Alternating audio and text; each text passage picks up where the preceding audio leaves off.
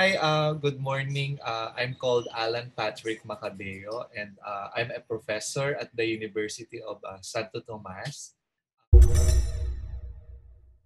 All the achievements that I got after I, I finished my um, I finished my uh, PhD in Germany. So when I came back, so um, I was able to apply this, and of course, with all the disciplines and with all the insight, with, with all the philosophies, I was able to get some national awards. So,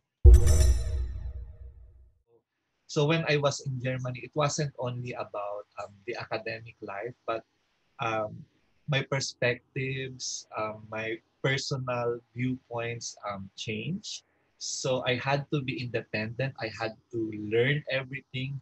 I had I, I learned how to be myself and um, and not um, pleasing uh, many people. So that's what I learned from the German culture. I also learned how to value resources. And uh, I also uh, learned how to value time and being disciplined at work. That's um, a very valuable thing, you know, so which I carried on when uh, I went back here. And also, of course, um, I met friends uh, of different uh, nationalities, cultures, and um, I was able to establish friendships that uh, last long until now.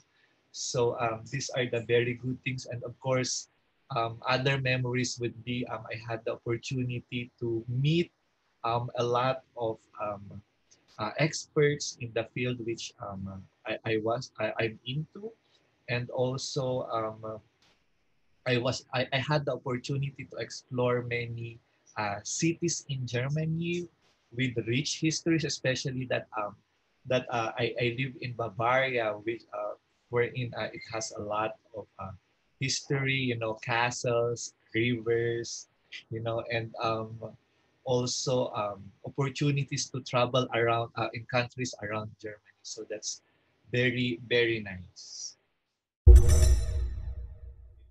Yeah, um, when I was in Germany, uh, I, I like to collect uh, snowballs, you know, snowballs of every cities where I, I go into.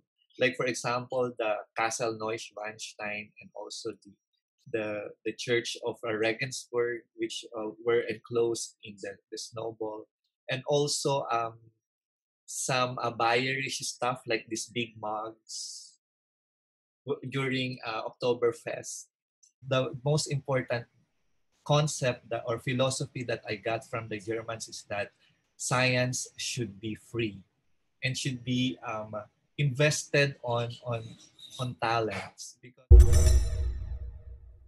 my first time to experience snow falling so uh, it happened actually when um, when I was already in the university. So that was I think October. So it was snowing then. So uh, it was my first time. So I was so happy and I